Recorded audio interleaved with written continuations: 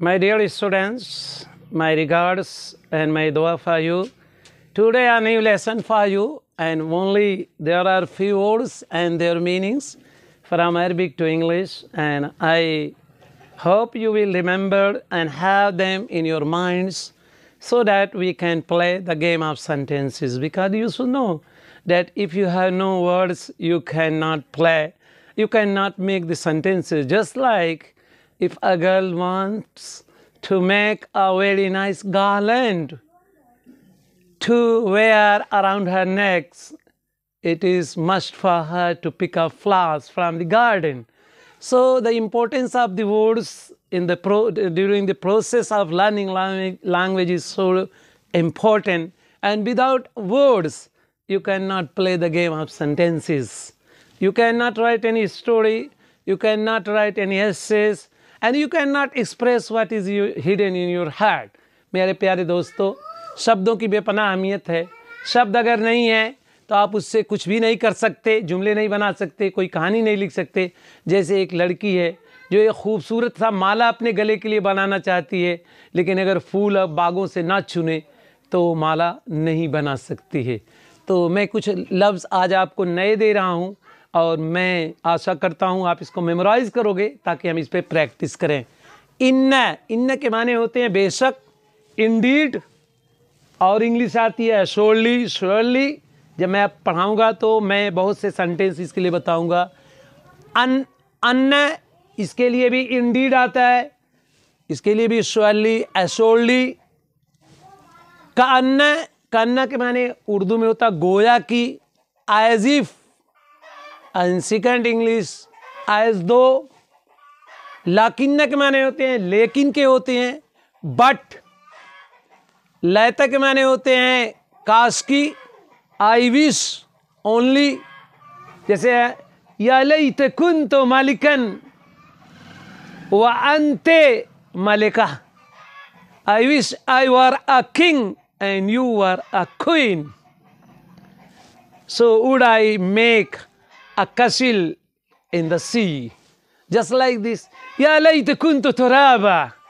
I wish I were only soil.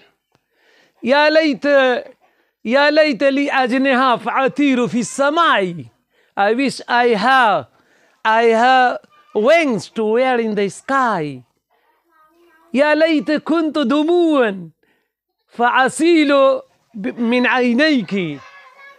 I wish I were tears to drop out of your tears. So when I, uh, I, when I say one by one, I will give you many sentences and how you can use the words. It is the next stage. Later, I wish only if लाल्ला माने गोया के as if इंदा के माने पास के होता है जैसे इन दी कलमुन व किताबुन I have a pen and a book तो नियर बाई एट लदा same same by beside by at हैसो where सम्म देयर सुम्म सुम्म अगेन आयना माने वेयर फोक माने ओवर फोक ट्री फोक सजरा over the tree There are flying many birds over the tree.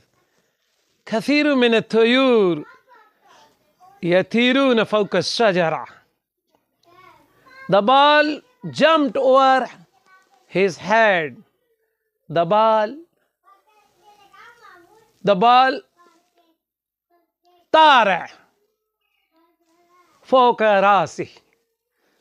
My dear one, I think you will have in your heart and you will also practice the words.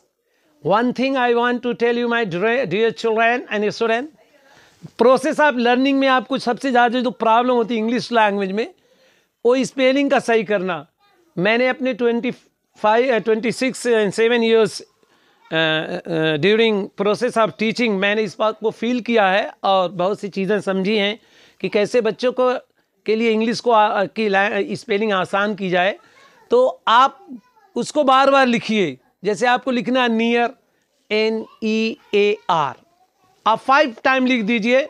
मैं challenge देता हूँ, आपको कभी नहीं भूलेगा। दूसरी बात ये होती है कि आप सेलबल डिवाइड कीजिए। उसको डिवाइड डिवाइड कर दीजिए। जैसे इसमें बिसाइड है B E S I D अब सेलबल क्या बनता है? बी सा, ईड। तो सेलबल पे चलिए। अगर आप सेलबल से डिवाइड करेंगे, जिसको हम हिज्जे को बोलते हैं कि आप वर्ड कैसे कटता है, जैसे आप कहते हैं ब्यूटीफुल तो स्पेलिंग होती है B E A U T I F U L लेकिन आप अगर सेलबल को डिवाइड करेंगे तो ब्यू टी फुल यही है साउंड भी उसका ऐसे ही।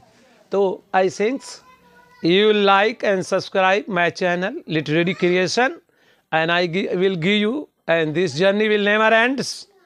it will run and run.